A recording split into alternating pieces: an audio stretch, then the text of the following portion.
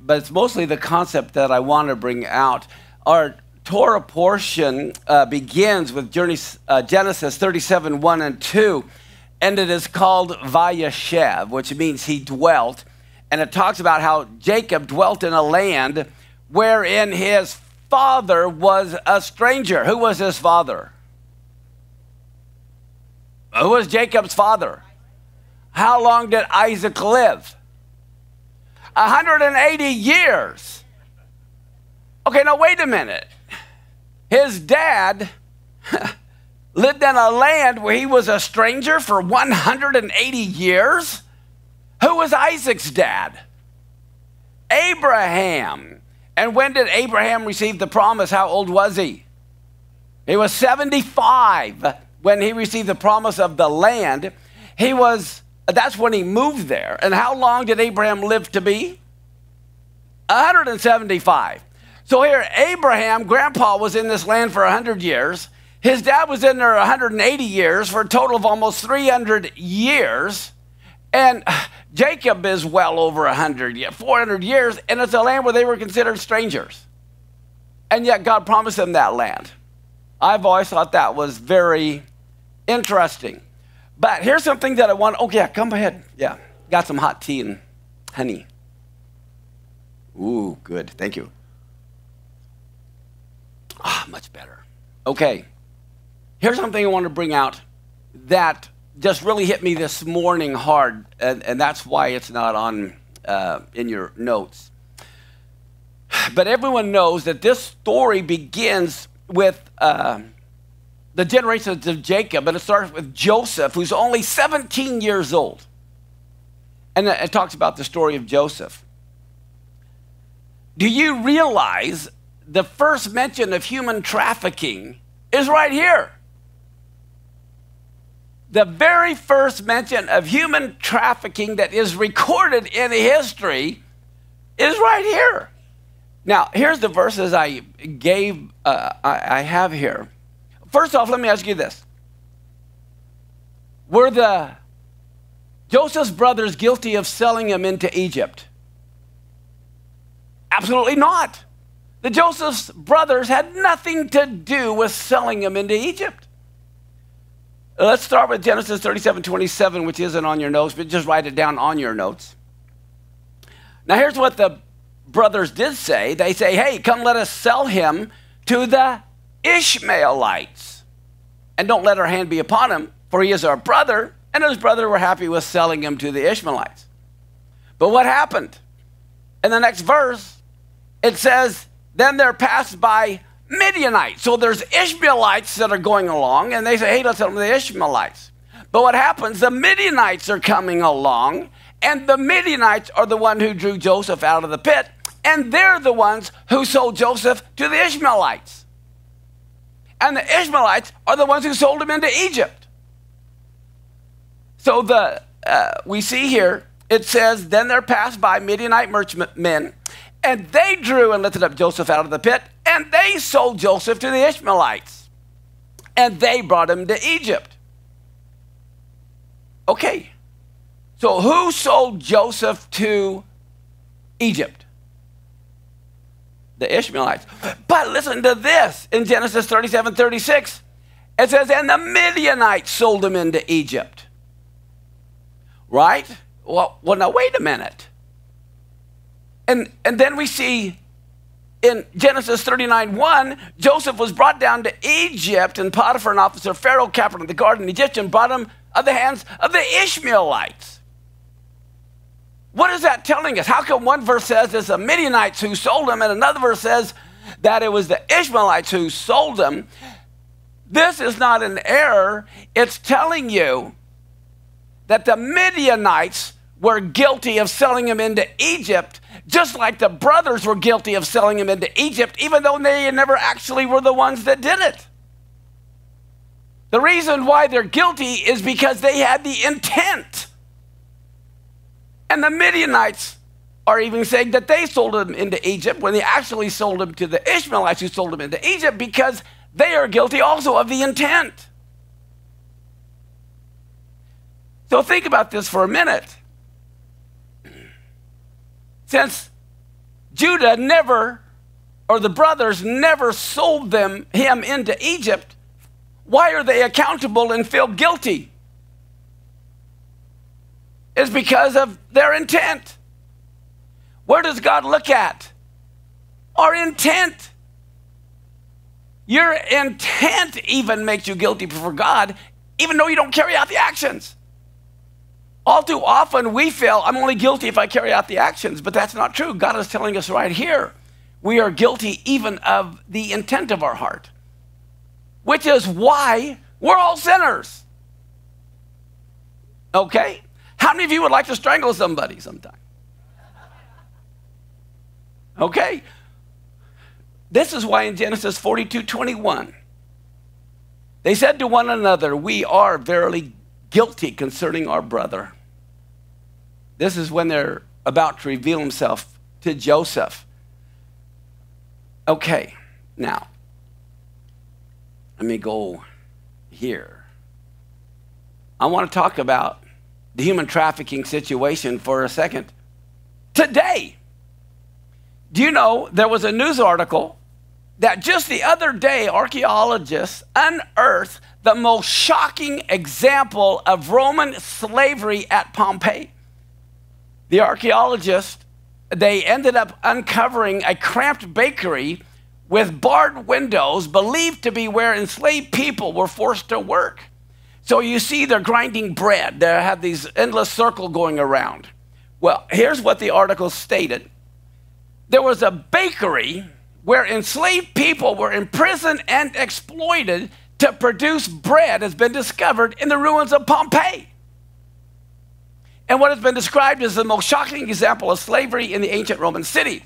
The discovery provides more evidence on the daily life of Pompeii's enslaved people often forgotten about by historical sources, but who made up most of the population and whose hard labor is what propped up the city's economy. It's always about the money, guys, as well as the culture and fabric of Roman civilization. There were markings that were used to coordinate the movement of enslaved workers, and blindfolded animals were found on the bakery's floor the home was divided into a residential part that was adorned with lavish frescoes, and then there was the bakery where the enslaved people were forced to grind the grain needed to produce the bread, and the bakery was cut off from the outside world with only exit leading to the main hall of the house. And then they were barred. And how did God judge the human trafficking situation? Pompeii. Now, I'm going to explain something to you. Right here is what is known as the Texas Triangle. It involves Houston, San Antonio, and Dallas. They are the number one human trafficking area in the entire United States. Isn't that crazy? Let me see. Listen to this. The black market driven criminal industry of human trafficking is grounded on the simple economics of demand and supply. The only reason it's human trafficking is because people in America and all over the world want it. Why do you think they want all the immigrants coming up here? Now, the human trafficking right now brings in an estimated $150 billion in profits annually. $150 billion. Human trafficking crime exists only because there is ample demand for the criminal offense. Known as part of the Texas Triangle connecting Houston, San Antonio, and Dallas, Houston has the highest rate of human trafficking in the United States. These three major cities connect together through major interstates where people move in large numbers, and human trafficking is seemingly easier. There's the CAC, which is the Children's Assessment Center. They note, get a load of this. See this? How many of you ever heard of Starbucks? In Houston alone, there's 158 Starbucks. But even the governor of Texas said there are more brothels in Houston than there are Starbucks.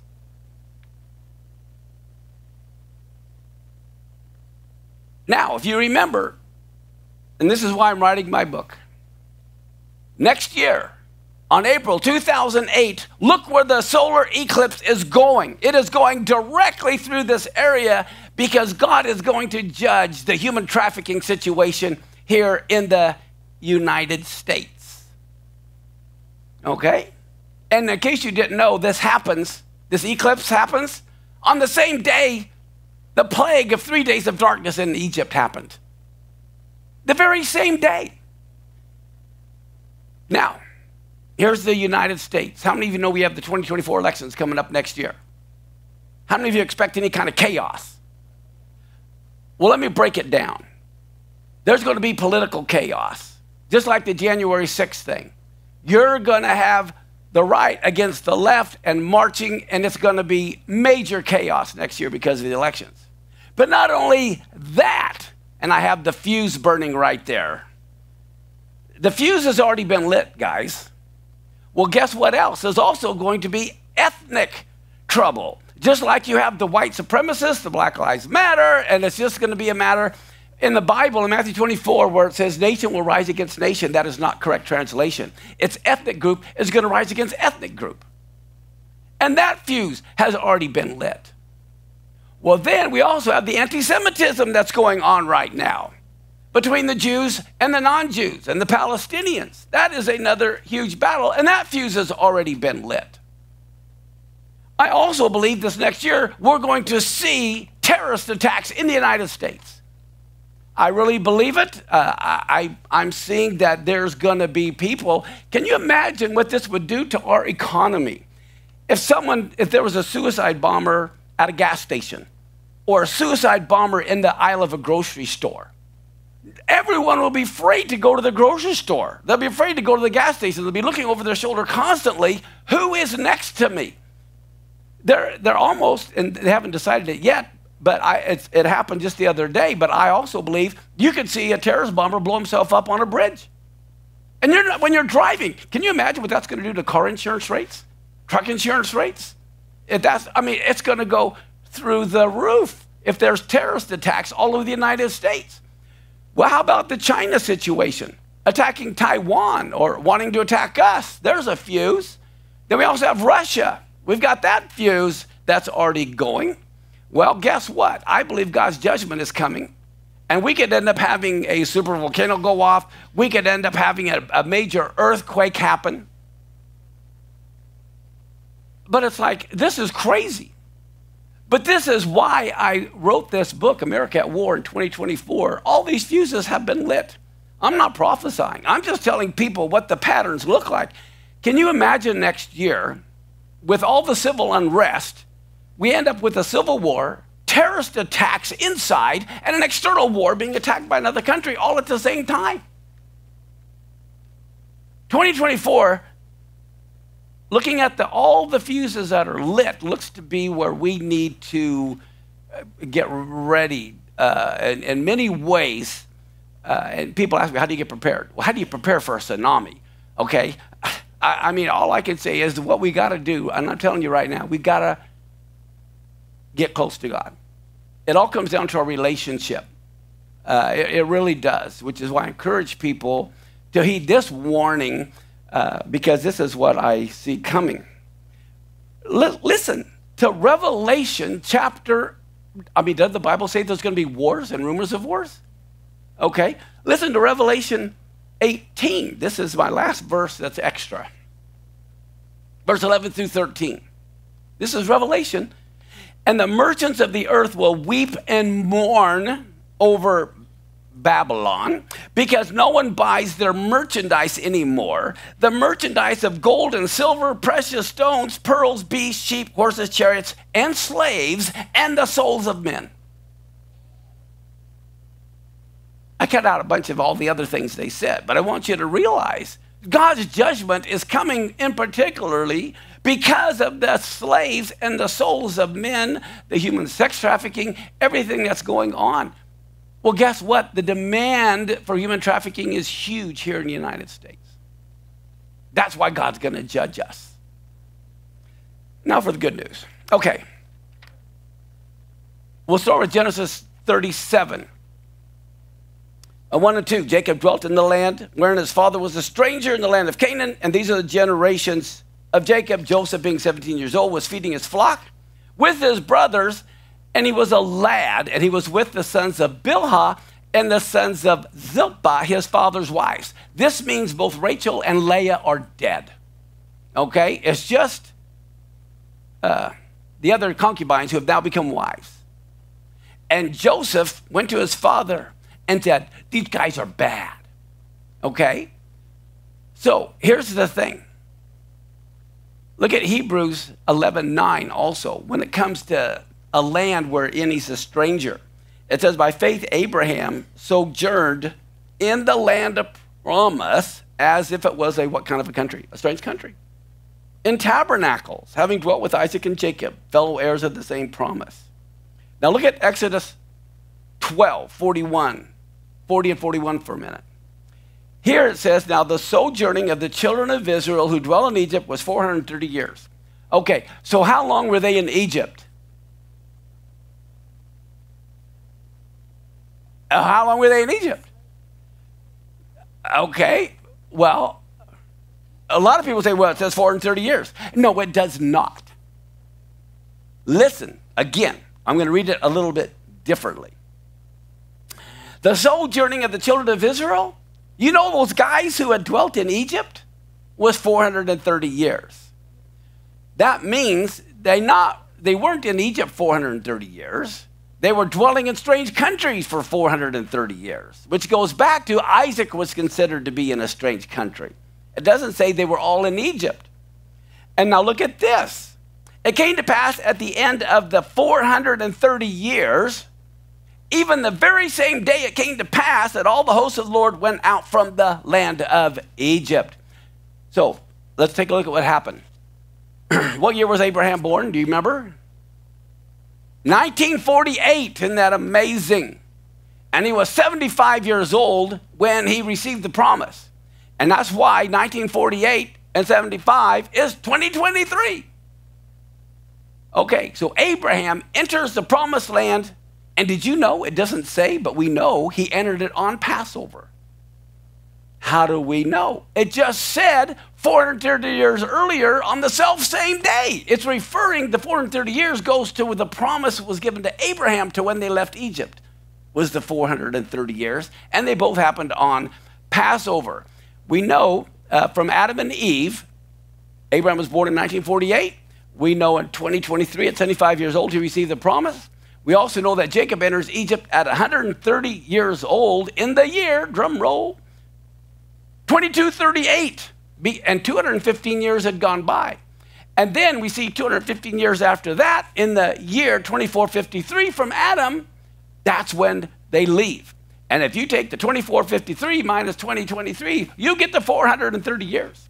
We know Moses left Egypt on Passover in the year 2453, and Shazam, can you believe it? From the very day Abraham receives the promise on Passover to the very day is the same day that Moses leaves. This shows you God's hand in control of all of this. Now, as a reminder, the year uh, Anno Mundi is AM, think of Adam made, but it means the year of the world since creation. Let's put Adam and Eve at year one. Okay? When you look at Genesis and the begats, you know that Adam was 130 years old when he fathered Seth. And then he fathered Enosh. And you can go through and look at all of the begats clear down. There's the flood, okay? And then finally you get to Abraham. Uh, and it's just math, it's simple. 1948. So we know in 2023 that he received the promise. Now, here's what's amazing. Here we have Adam and Eve, and uh, we know that uh, from Genesis 5 and 11, Abraham was born in 1948. And we know he was 75 years old in Genesis 12, 1 through 4, okay, which was 2023. And then 430 years later in Exodus 12, uh, we see this is when Moses left in 2453. And then look at 1 Kings 6 1.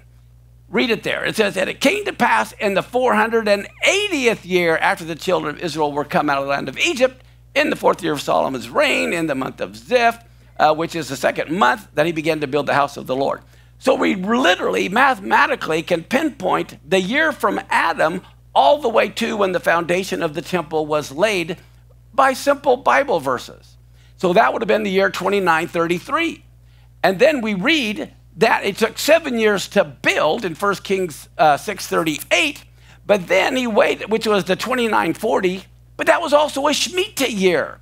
Well, guess what? He waits another year to dedicate it. And so it was in that year that the fire fell from heaven. Well, when you read, you'll see Heshvan, the second month is when it was completed, and he waited all the way another 11 months to Tishri to dedicate it. Why? Because 2940 is a Shemitah year. It's also divisible by 49, which means the temple was dedicated in the year of Jubilee in 2941. Okay, which again is the first year of a Shemitah cycle. All right, so now, I just showed you when the temple was built, and you can go back and see that David was crowned king in the year 2889. And then there you see where the foundation of the temple was laid, when it was dedicated, as we just saw in 2941. And then you go to all the kings of Judah, and you see at the, the very end, it was in the year 3361 from Adam that the temple was destroyed. It's, it's, you can actually know exactly everything. Uh, I have a chart of every Shemitah year, every Jubilee year, all the way back to creation. But here's your 430 years. The first 215 years, we see the promise was made to Abraham, and that was a Shemitah year. And then we see uh, Isaac is born uh, 100 years later. Uh, Jacob was born to Isaac. Abraham dies. Isaac ends up dying, which is where we're pretty much at now in the year 2228. So Jacob is 130 when he enters uh, Egypt. And here you see it's exactly 215 years. Then, uh, what do we see? Look at this for a minute. Here's the different ages of all the kids. Joseph was 39 years old when his brethren entered Egypt. And notice Levi was 45. And this is all simple math. So when you look at the second 215 years, you can see the age of Joseph, you can see the age of Levi. You see in 2309, that's when Joseph has been in Egypt 93 years, and he dies at 110. Levi lived the longest of all of the children of Israel, uh, and he died at 137 years old. And then, if you go to the very end, we know Moses was 80 years old when he left, so you subtract 80 years, and you see Moses was born in the year 2373. So it's all simple math. You can find out exactly when all these events happened. Now, here we are. This is Shechem, also known biblically as Shechem. And this is the picture I took when I was uh, up in Itamar at the three seas, it's called, because you can see the Sea of Galilee, the Dead Sea, and the Mediterranean Sea. And what are these two hills on either side? Mount Ebal and Mount Gerizim. This is where the Jews got on different sides and yelled the curses and yelled the promises and all of that. And what's that city right there in the middle? Shechem. This is where Joseph is buried. I've been there. This is a picture I took of Joseph's tomb. It's that round dome thing right there. You can't go down there or you're dead. But you can be up on a hill taking a picture. So uh, that's about as close as I wanted to get. But that's what it uh, look like? Okay, so what do we find here? In Genesis 37 12, it says, His brothers went to feed their, now they're in Hebron. And so from Hebron, the, Jacob sends his sons to go feed the father's flock in Shechem. What do we know about Shechem? This is where the brothers just got done killing everybody. Okay, it's a dangerous place now. But that's where they go. And then Genesis 37 13, Israel tells Joseph, Hey, don't your brothers feed the flock in Shechem? Hey, I'm going to send you to them. If I was Joseph, I'd say, Heck no, I ain't going there. Are you crazy? But he said, Okay, I'm going. So what's fascinating, listen, here we have the father sending his son to his brothers, like the father sends Yeshua to his brothers who willingly then goes to seek them out all the way to a place called Dothan. And who did not receive him? His brothers didn't receive him. So what did they do? They turned him over to the Gentiles. Doesn't this sound familiar? Okay, to be done with as they chose. Now, Shechem is 50 miles away from Hebron. This is quite a ways he's sending them. It's not like around the corner. So you can also see the concern Jacob had for his other sons returning to that area where they just got done killing a whole bunch of Shechemites. All right? But Shechem is also the same place where Abraham built the very first altar when he entered the promised land. Now, here's the other thing. In the Torah, there is a hint that a prophecy is about to begin. And you only see this in Hebrew, you don't see it in English.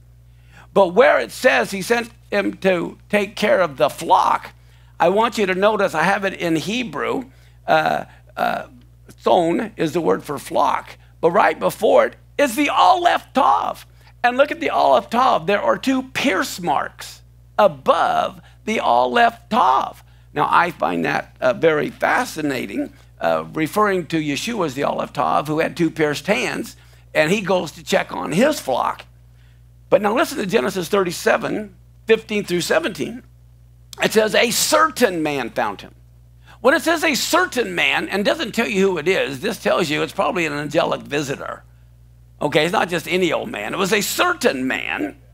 And behold, here he was wandering in the field, just like all of us sinners. We're out there wandering. And he said, What are you looking for? And Joseph said, Well, I'm looking for my brothers. Tell me, please, where they are feeding the flock. And the man said, Well, they've left here. And I heard him say, Let us go to Dothan. So Joseph went after his brothers and found them where? In Dothan. Well, get a load of this.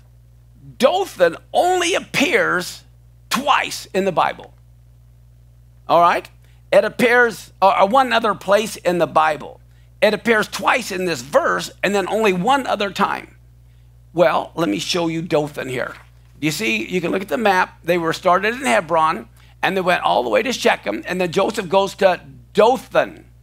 All right? And then he ends up getting sold to Egypt. Now, you don't see this in English, you only see it in Hebrew. Okay? Uh, dot, the dalet tav at the top, basically can mean religion, okay, which is part of Dothan. But I want you to see here, uh, here it says uh, in the English, uh, the Lord came from Sinai, rose up from Seir. He shone forth from Mount Paran, and he came with holy tens of thousands from his right hand when a fiery law. Well, the word law is dot. Okay? The Dalet Tav means law or religious decrees. Okay, with that said, let's go back to the map. All right, in Hebrew, dot means a law or a decree. But in Persian, it, refer, it is referring to man made laws. And in the Chaldean language, it refers to a well or a fountain. All right? Now here's Dothan or Dothan, the Dalet Tav with the final noon. But look at this. And again, you're never going to see this in English. But here in Genesis 37 17, where he says they were in Dothan, well, here's the other place in 2 Kings 6 13 this is where the enemy is so upset because there's a prophet in Israel that tells the king everything that the enemy is doing. And it says in verse 13, he said, Go and spy where this guy is, and I can send and bring him. And it was told him, saying, Behold, he is where? In Dothan. All right. Now, what you see at the top is the last time Dothan is used but look at this. Here's the other place it is used. See it right there? And up here. It's spelled differently. I don't know if you knew this, but God intentionally misspells words in the Torah. But the English corrects them all, as if we think we can be God's editor and we don't realize God is purposely misspelling words so that we have we should know something is going on. Okay, so here's Dothan, but here's the other Dothan, and what do we know has been added? The Yud Hey of the Yud Hey Vav Hey of God. And this is where a, a real miracle takes place. Listen to 2 Kings 6. I have a couple of the verses here. Uh, and it says, At that time, the king of Aram was making war against Israel. Then he said, Go and see where he is that I can send and get him. And news came to him that Elisha was in Dothan. You know, and so it's fascinating that here the miracle worker Elisha is in the same place where a certain man ends up running into Joseph. Okay, so now we come to the pit. All right, in Genesis 37 18 through 20, it says, When Joseph's brothers saw him far off, even before he came near, they conspired against him to kill him. And they said one to another, Behold, this dreamer is coming. Come now, let us slay him, cast him into this pit, and we'll say, Oh, some evil beast devoured him, and we shall see what I will and what will become of his dreams. Okay, well, like I said, look at this. Genesis 37, 23 and 24 came to pass. When Joseph came to his brother, they stripped him out of his coat, his coat of many colors that was on him, and they took him and cast him into a pit, and the pit was empty and there was no water. Now, why in the world would they say there was no water? They already said the pit was empty. You know, what's the point? Well, that's a whole nother cool thing to look at. But look at Genesis 37 25. It says they sat down to eat bread. They lifted up their eyes and looked, and behold, a company of Ishmaelites came from Gilead with their camels bearing spicery and balm and myrrh, going to carry it down to Egypt. Where were the brothers? Okay, well, here we see on the little picture that they stripped him of his coat, they threw him in the pit, and there he is screaming, Get me out of here! Well, over here, the brothers decide to have a picnic on the other side of the hill out of his earshot. They don't want to hear him whining and complaining, so they say, Let's have our picnic. While they're having a picnic on one side of the hill, here comes the Ishmaelites, and they say, Let's sell them to the Ishmaelites. Unbeknownst to them, the Midianites come and they go by and they take them out of the pit. And then the Ishmaelites go on their merry way, and the, uh, the Midianites have sold them to the Ishmaelites. So then what happens? Reuben comes and he sees he's not there. All they see is his multicolored coat. And he goes, What are we going to do now? And so we see that the brothers never did sell them. The Midianites sold them, but they still are guilty. Okay. Now, here we see in Genesis 37 28, some traders from Midian went by. They're the ones who pulled Joseph up out of the hole, and they gave him to the Ishmaelites for 20 bits of silver, and then they took him to Egypt. Well, I think it's fascinating. In Matthew 20, verse 18 and 19, Yeshua says, Behold, we're going up to Jerusalem, and the Son of Man is going to be betrayed to the chief priests, to the scribes and they're going to condemn him to death. But what are they going to do? They're going to deliver him over to the Gentiles. And the Gentiles are the ones who are going to mock him and scourge him and crucify him. Okay, so what is that telling us? Both Jews and Gentiles are responsible for the death of the Messiah. You can't just say it's those Jews who killed my Jesus. All right? Now, Genesis 37, 29, and 30. Reuben comes back to the hole. Joseph wasn't there and giving signs of grief, he goes back to his brothers and he said, He's gone. What are we going to do? Well, this is why intent is so important. The brothers thought he was still in the pit. The brothers had left him to die. They had no idea he'd already been sold. But they're guilty because of the intent. And we see in Genesis 37 36, the Midianites are the one who sold him into Egypt to Potiphar. All right. Well, how much time do I have? I got a little bit. Okay. Now, let's look at Genesis 39 1.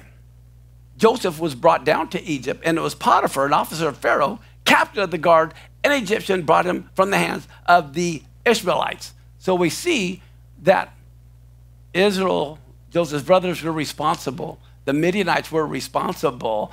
Everyone was responsible for selling him to Egypt. You can't say, well, I didn't, okay, because your intent was there. Now, uh, Genesis 39 1 clarifies Joseph was brought down to Egypt, and Potiphar, an officer of uh, Pharaoh, captain of the guard, an Egyptian, bought him of the hands of the Ishmaelites. Okay, so we see that is ultimately who they bought him from. But what do we see in Genesis 37, 31 and 32? They took Joseph's coat and they killed a kid of the goats and they dipped the coat in blood. And they sent the coat of many colors and they brought it to their father and said, This we have found Know now whether it is your son's coat or not. Well, you don't see this in English, you only see it in Hebrew. But that word know now is haker na. Na means please, and uh, recognize. So what he's saying, would you please recognize and um, look at Genesis. Oh, here it is. Let me put it up here. Okay, haker na. It means, would you please recognize this? Well, in Genesis, uh, let me see if I'm, oh, let me see. Okay, uh, okay, good. I'm going to get there. All right, so now just remember haker na, which means recognize, please. And then what do we see uh, happened in Genesis 37 33? And he saw that it was, and he said, It is my son's coat, an evil beast must have put him to death. Without doubt, Joseph has come to a cruel end. Okay, Joseph was then missing for 22 years. That's how long he was missing. And Isaac dies just before the first year of the seven years of plenty. Uh, you know, so it was like three years later, the rest of Jacob and the brothers go into uh, Egypt.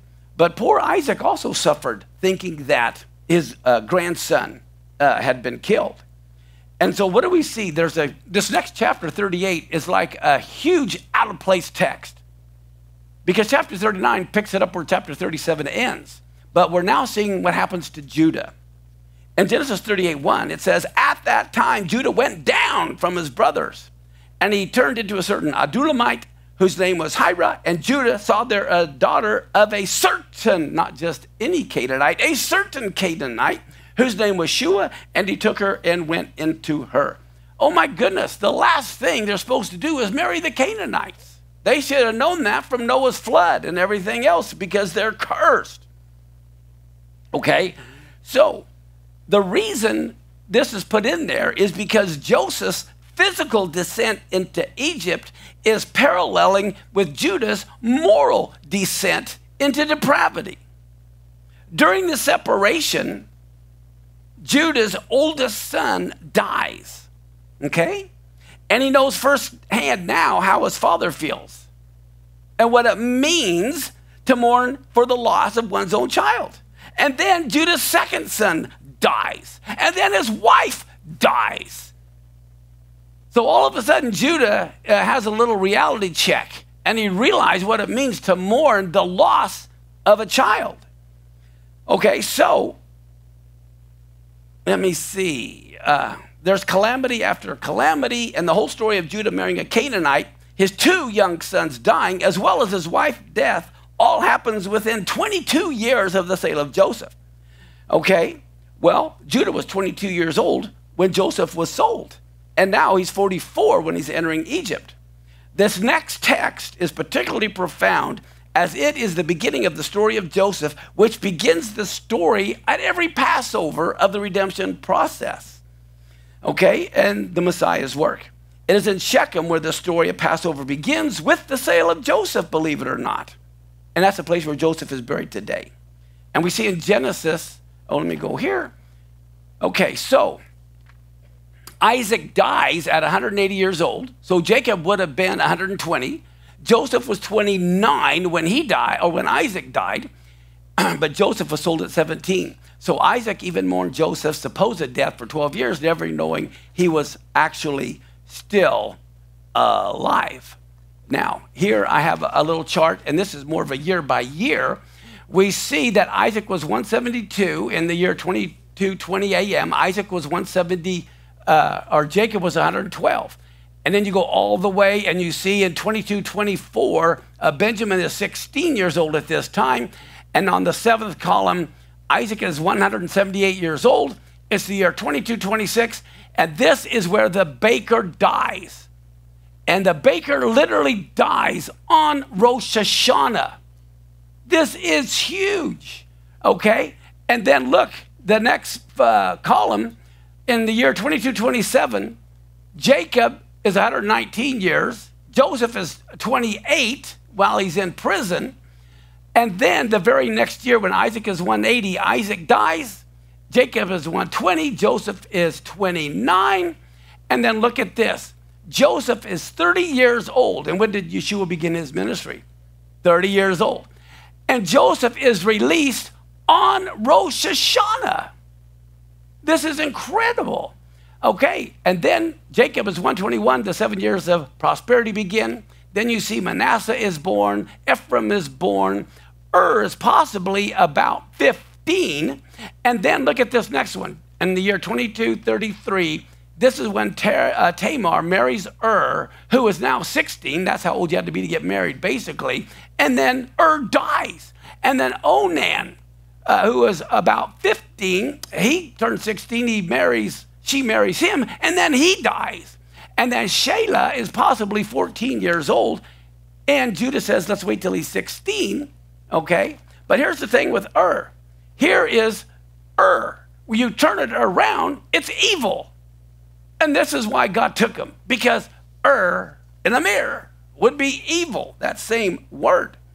Okay, and it says in Genesis 38 7 that Judah's first son did evil in the eyes of the Lord, so he put him to death. In Genesis 38 11, it says, Then Judah said to Tamar, his daughter in law, Okay, you remain a widow in your father's house until Shelah, my son, is grown up. For he said, lest for he was worried that he might also die like his brothers. So Tamar went and lived in her father's house.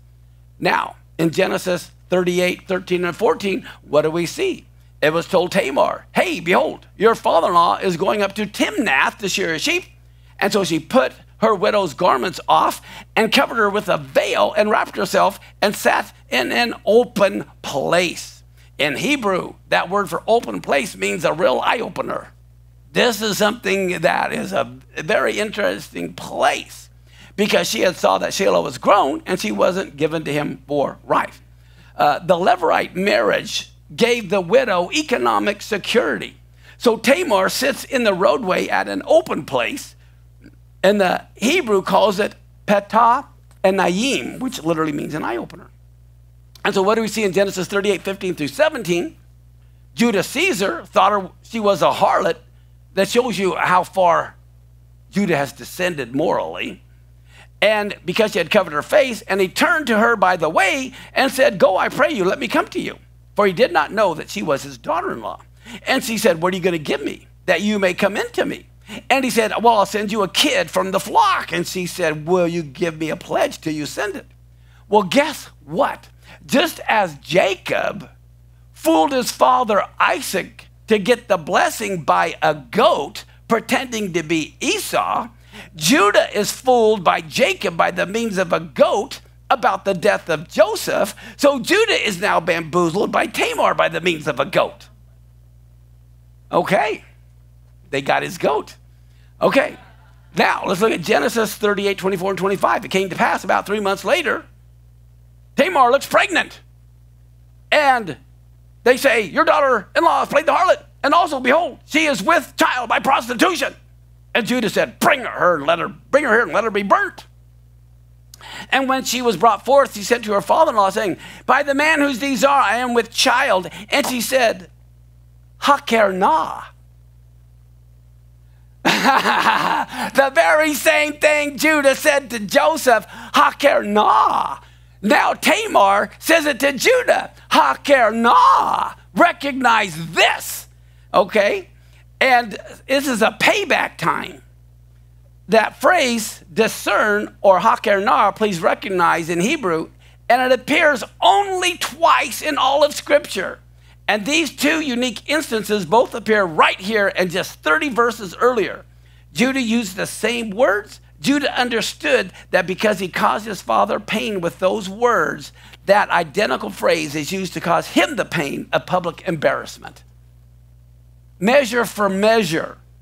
And so we'll close with this verse in Genesis 39, 19, and 20. Okay, it says, And hearing his wife's account of what his servant had done, you know, uh, she accused Joseph of raping her, okay? And it says here, he became very angry. And Joseph's master took him and put him in prison in the place where the king's prisoners were kept in chains. And he was there in the prison house. Well, do you want to know what? For doing that to the king's wife, that's pretty mild punishment. He should have been killed. This tells you the king suspected his wife. All right, that is what this is telling you. Uh, considering that he cut off the baker's head for no reason and never even asked Joseph uh, his version of the story. All right, we're done. with this part, let's stand. We'll pray. We'll take a little break and then have some worship. And then you got to put up with the second half. Avinu Malkeinu, a Father King, we just thank you so much for uh, your word. God, you truly look at the intents of our heart. And I just pray, Father, that all of us really are naked and open before you. And Father, I just pray that you would speak to all of our hearts, that all of us would just humble ourselves. Father, we know what's coming this next year total chaos, and we need to get ready now. So, Father, I just pray you would touch people's hearts. Lord, uh, just bring us all closer together. I, I pray for all those who help support your ministry right here at El Shaddai from around the world, locally and around the United States. We want to be a light to the nations. Uh, the world is only getting darker, uh, and, but it's always darkest just before dawn. And I just pray each one of us would be a light of your Torah to all the world around us. And we thank you for all the donations come in to help us accomplish your will. In Yeshua's name, amen. Together. Uh, Blessed are you, Lord our God, creator and king of the universe. You have blessed us with your Torah of truth. You have blessed us with the whole counsel of your living word by the power of your Holy Spirit through the completed work of Messiah Yeshua. You alone have planted among us life eternal. Blessed are you, Lord our God. I, am told to make one announcement. A lot of you have been directed to go through the double glass doors over here because we can use that whole building parking lot. It's a lot closer. It's help. It's easier for the handicap. It's also closer to the elevators. Um, but the other thing is, we've been hardening our building for security reasons. Uh, we now have a, a safe place uh, that is, if anything ever happens, uh, we've reconfigured our front office there. We're doing everything we can. Uh, because we know this next year is going to be difficult. But so that's why we're also trying to direct people to come through these other doors rather than through the front door. Be blessed. Go have a break. All right, are you ready?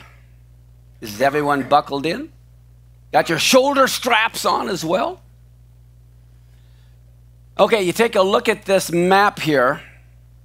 You'll see at the very bottom in red it says ancient Edom. Now, Edom refers to Esau, Jacob's brother.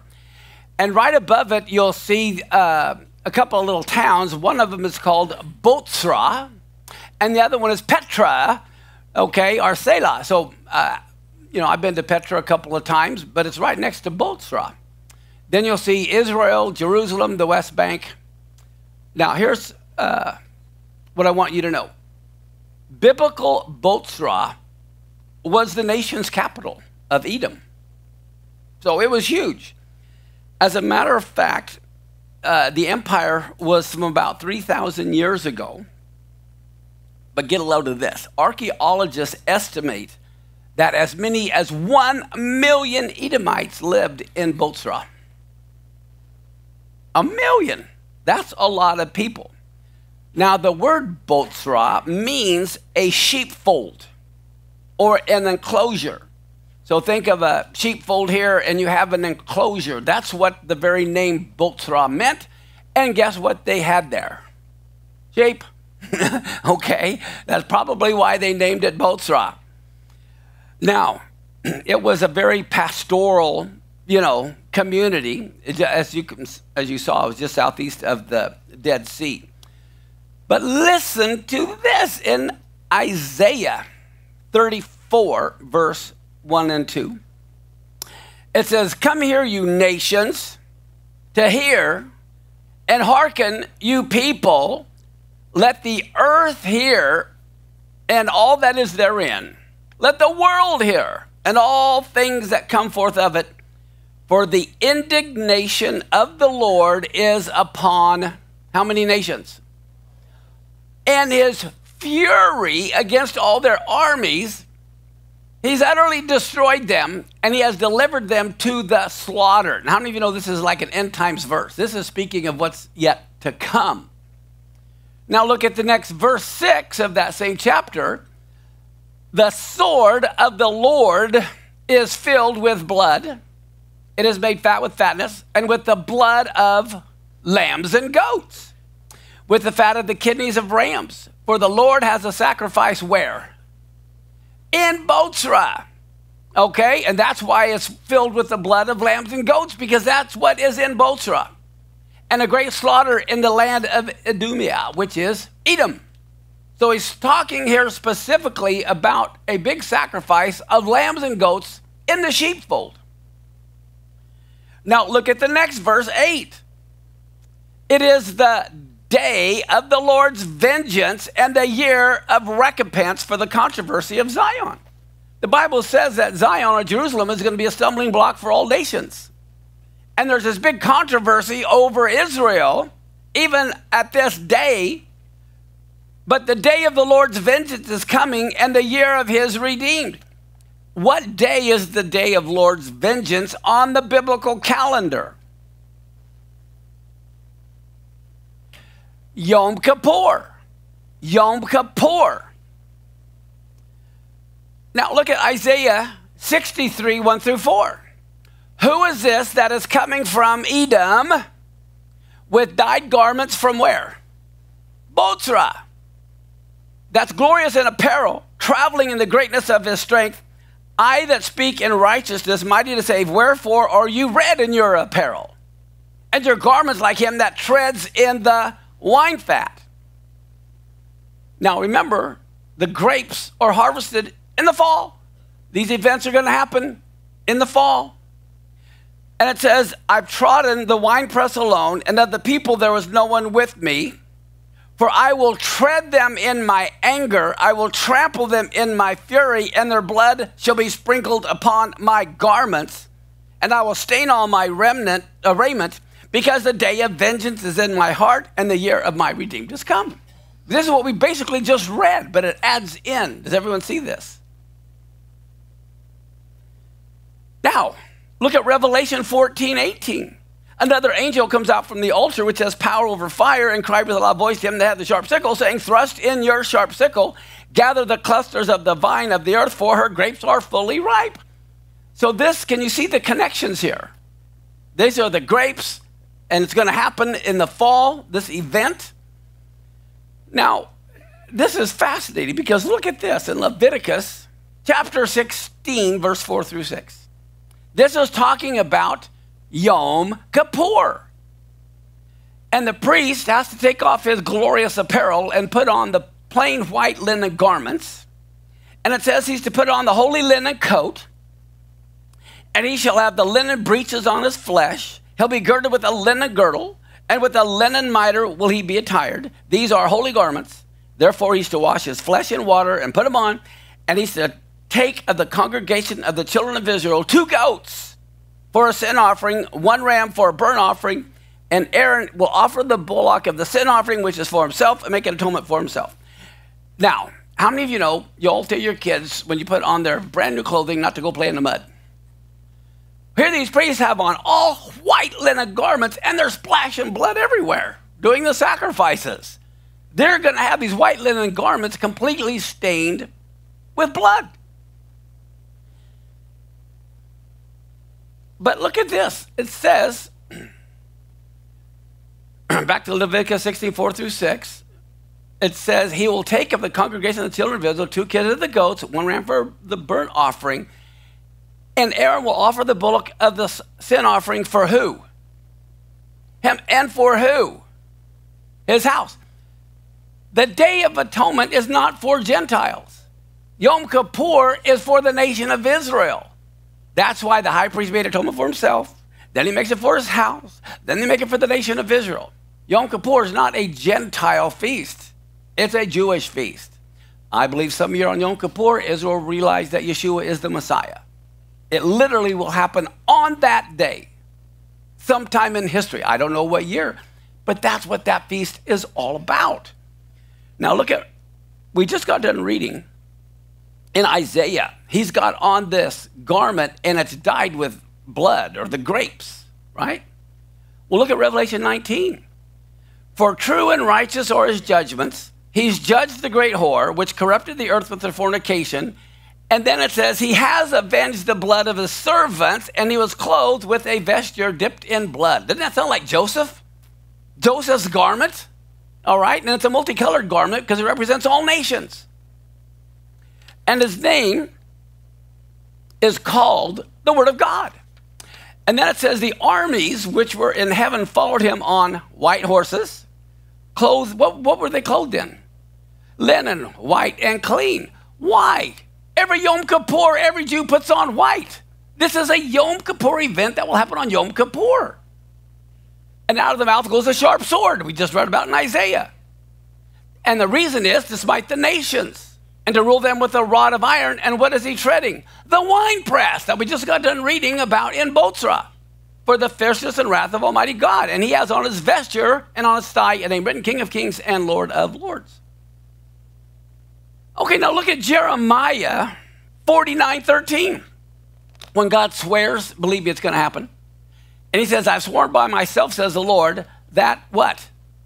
Botzra is going to become a desolation, a reproach, a waste, a curse, and all the cities will be perpetual waste. That has not happened yet. This is a prophecy that's yet to come. Now look at Leviticus 16 17. When the high priest goes in to make atonement on Yom Kippur, it says there's to be no one in the tabernacle of the congregation when he goes in to make atonement in the holy place until he comes out and has made atonement, here we go, for himself, for his house, and for the congregation of Israel. That is who Yom Kippur is for. And how many people are supposed to be in the Holy of Holies besides him? Yeah, he's the only one. That's Leviticus. Well, look at Revelation. 15:8. The temple was filled with smoke from the glory of God and from his power, and no man was able to enter the temple until the seven plagues and seven angels were fulfilled.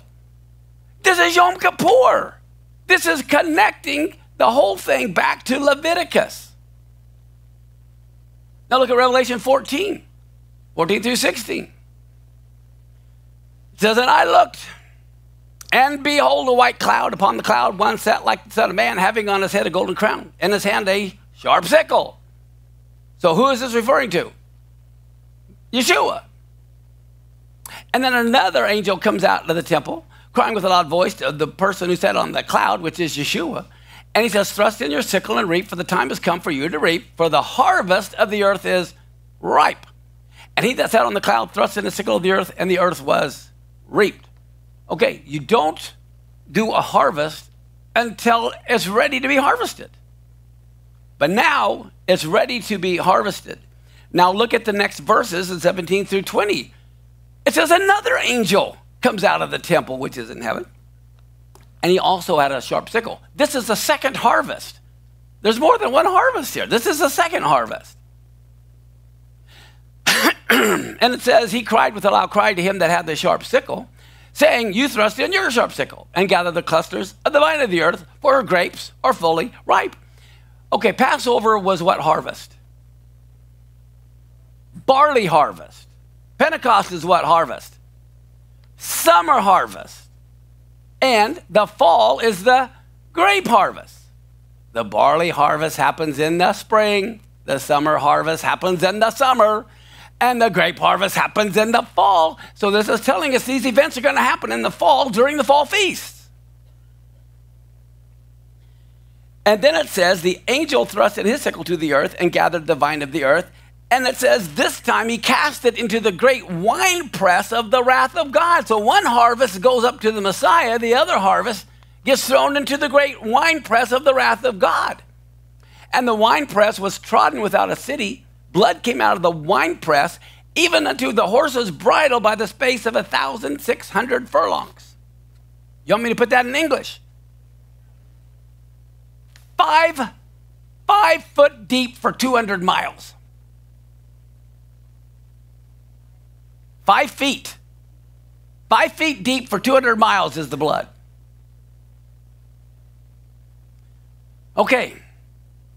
Now, with that, I'm going to jump for a minute to a story that we are encountering in the Torah about Judah and Tamar in Genesis 38 27 through 29. It says, And it came to pass in the time of Tamar's travail that behold, twins were in her womb.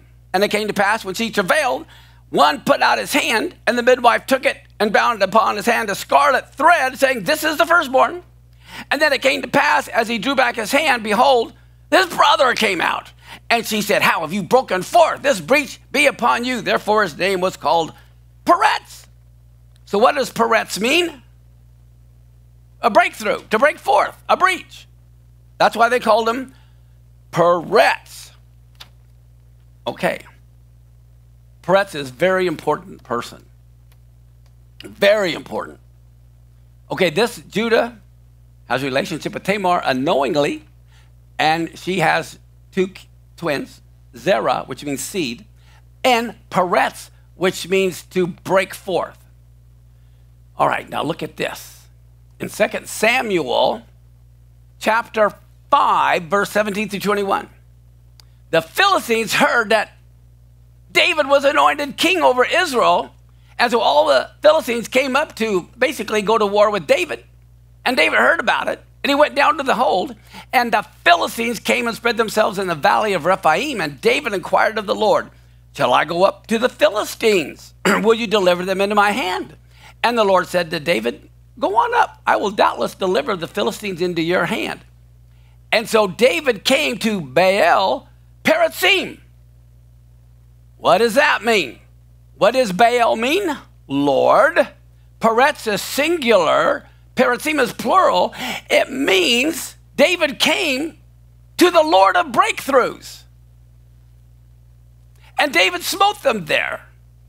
And he said, The Lord has broken forth as the breach of waters. There you go, right there on the picture, just as in the Exodus he's talking as the break. The Lord did a big breakthrough just like he did at the Red Sea.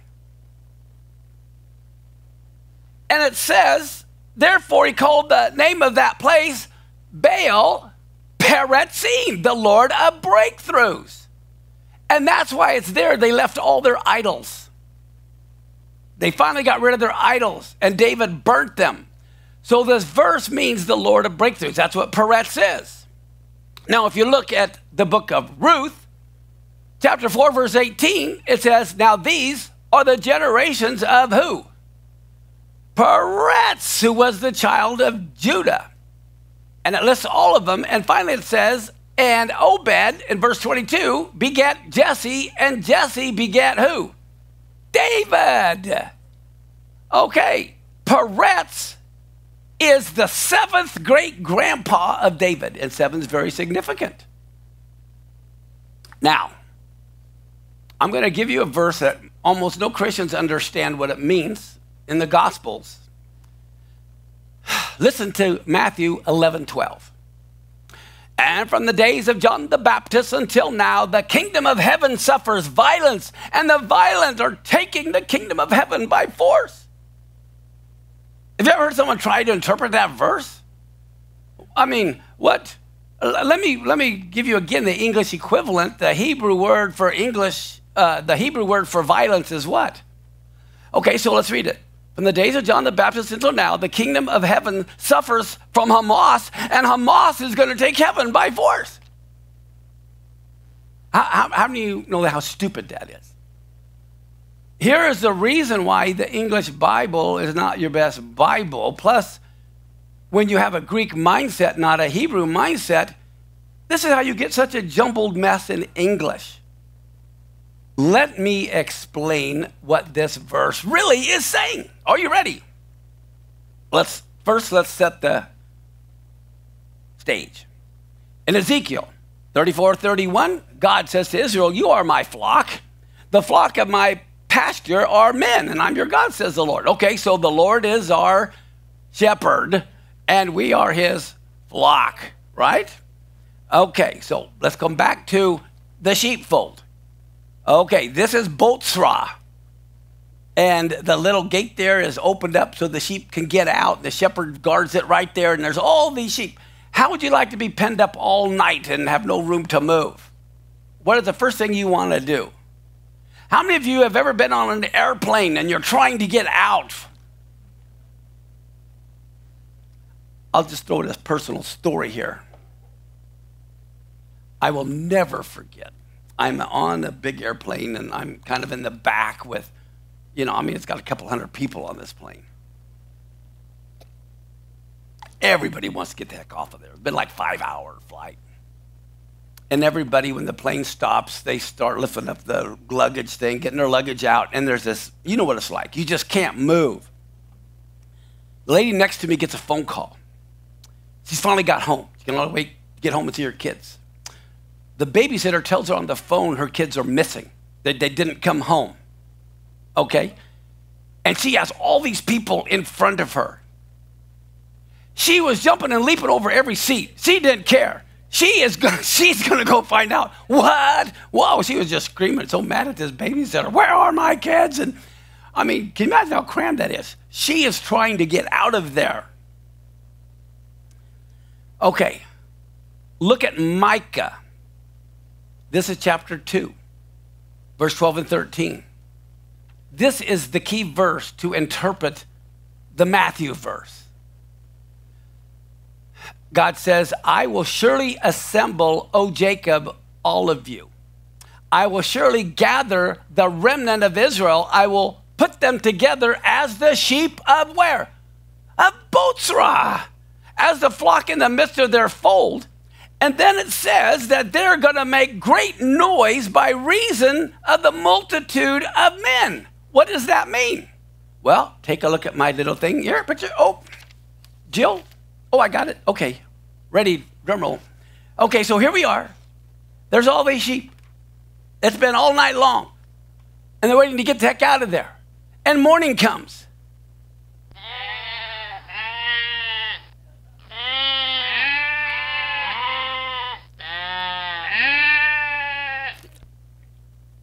They want to get the heck out of there. Okay, so here they are. They're jumping and they're playing. Yay!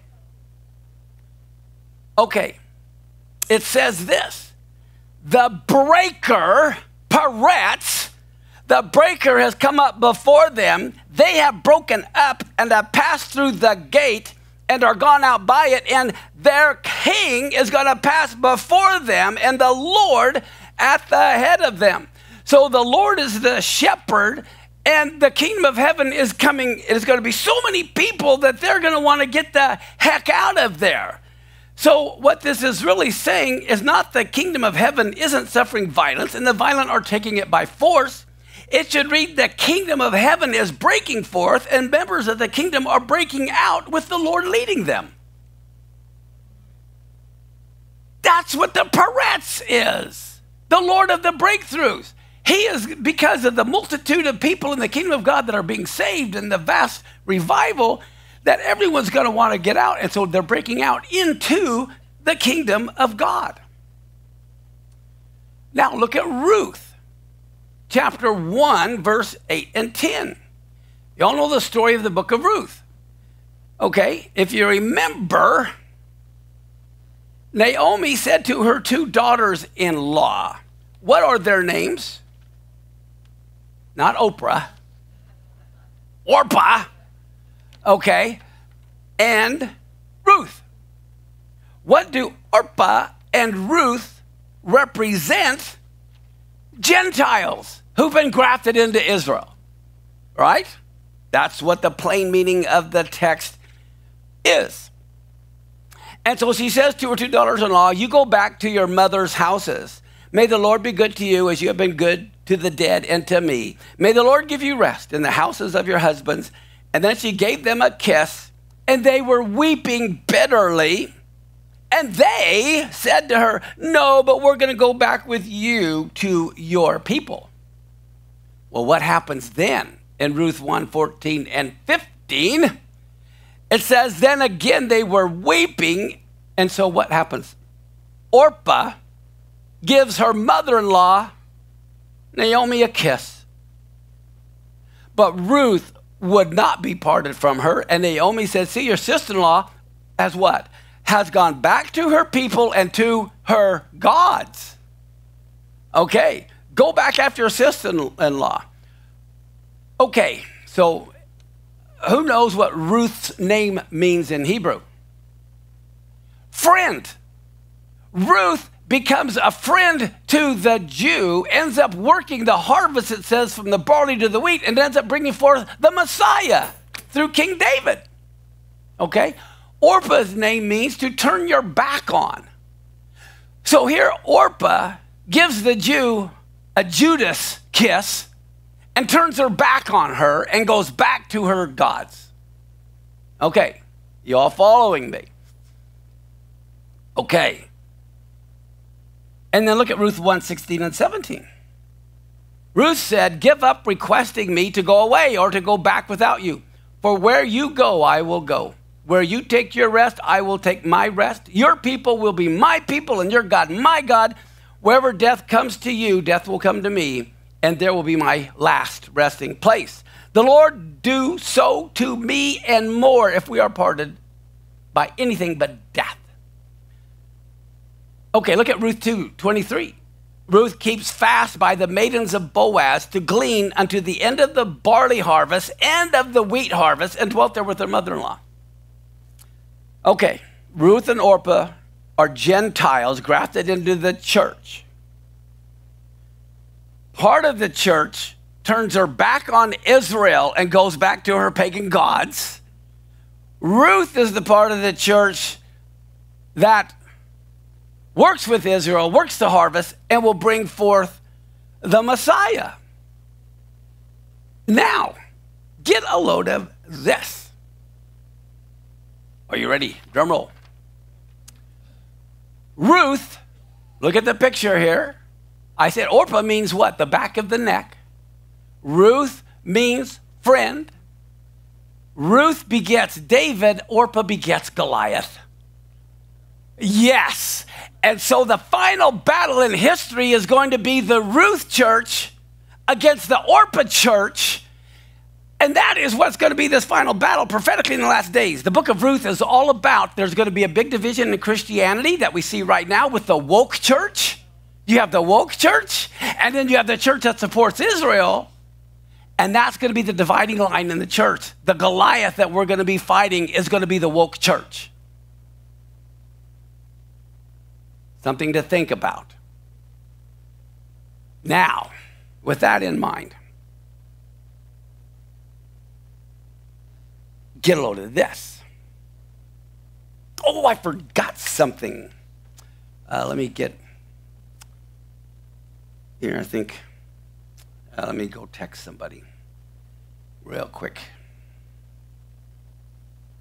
Uh, uh-huh. Yeah, here we go. Oh, book. Out of back. Okay. Uh, Geomi, if you can hear me, I'm texting you right now. I have a book that's in my bag I need you to bring for me. Okay, before I go there, let me see where I'm at.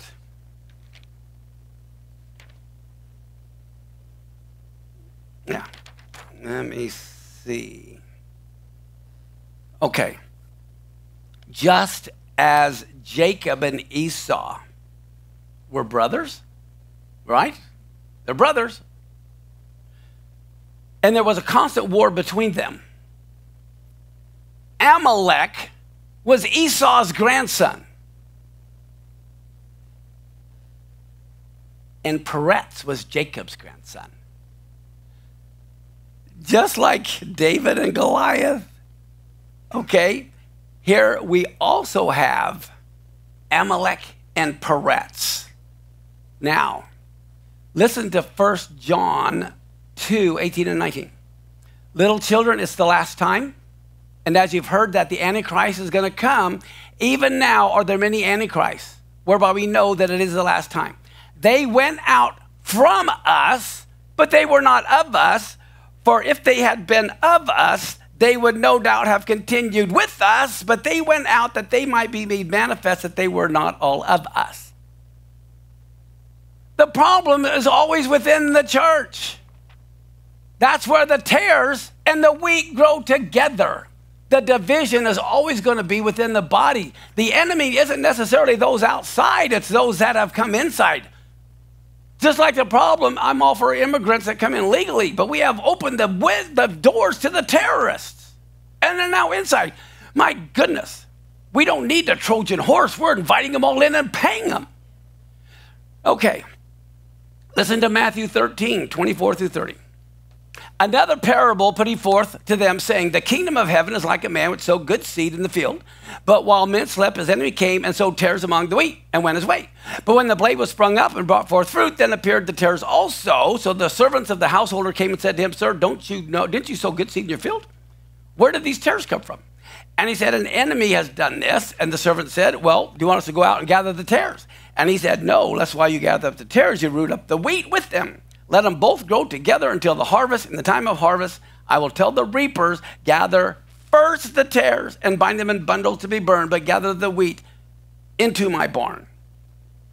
Okay, the tares don't bear fruit, and they stay perpendicular. The wheat bear fruit and they bow. That's how they know to separate the tares from the wheat at the time. The tares are like full of pride. Now, but notice it says, gather the tares first. And then it says, gather the wheat and put them in my barn. Where's God's barn? God's barn is the Temple Mount. Remember, it used to be the threshing floor of Ornan the Jebusite?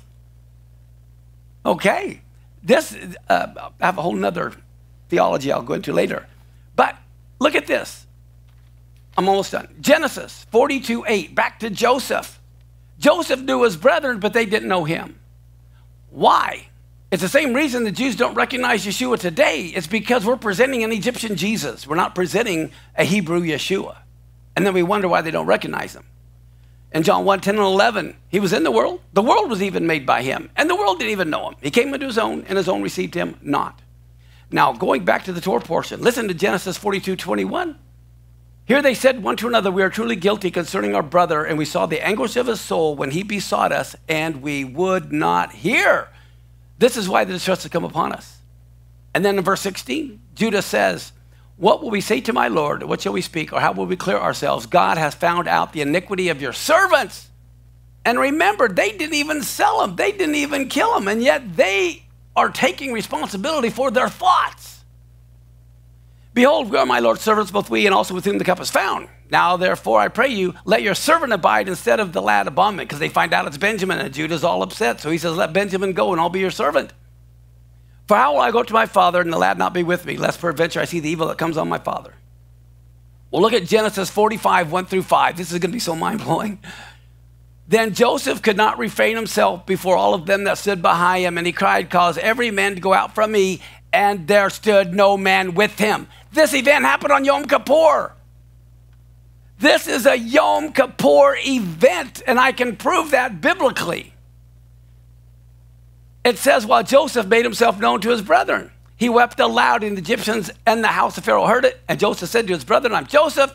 Does my father yet live? And his brethren couldn't answer him because they were troubled at his presence. And Joseph said to his brothers, Come here, I pray you. And they came near. And he said, I'm Joseph, your brother, whom you sold into Egypt. Now, therefore, don't be grieved nor angry with yourselves that you sold me here, God did not send me, God did send me here to preserve life.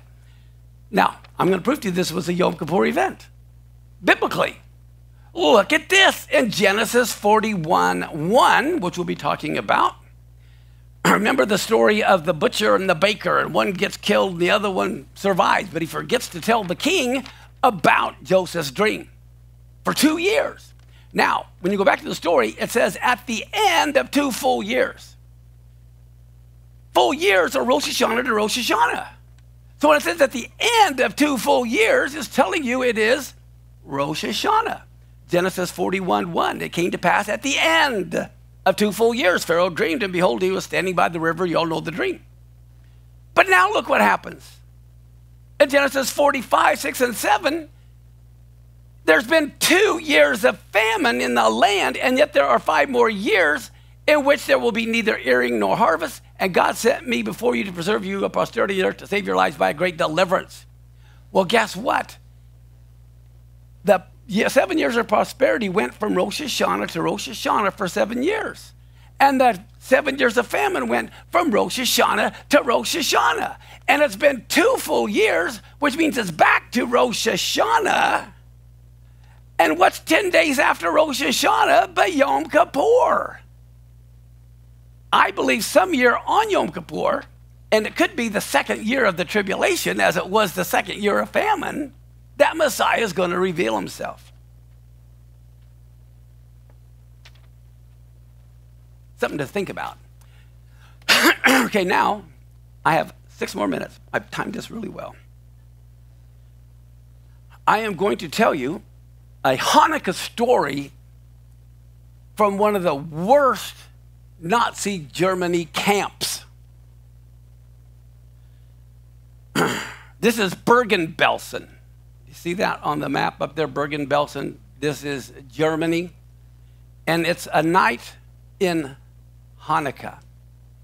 And I'm going to read this little story to you. It says in Bergen-Belsen, on the eve of Hanukkah, a selection took place. Early in the morning, three German commandants, meticulously dressed in their festive black uniforms and invisibly high spiritually dressed in their festive, uh, meticulously dressed in their festive black uniforms and invisibly high spirits entered the men's barracks. Here's the men's barracks. And they ordered the men to stand at the foot of their three tiered bunks. And then the selection began. One of the three commandants lifted his index finger in his snow white glove and pointed in the direction of one pale face, while his mouth pronounced the death sentence with one single word Come.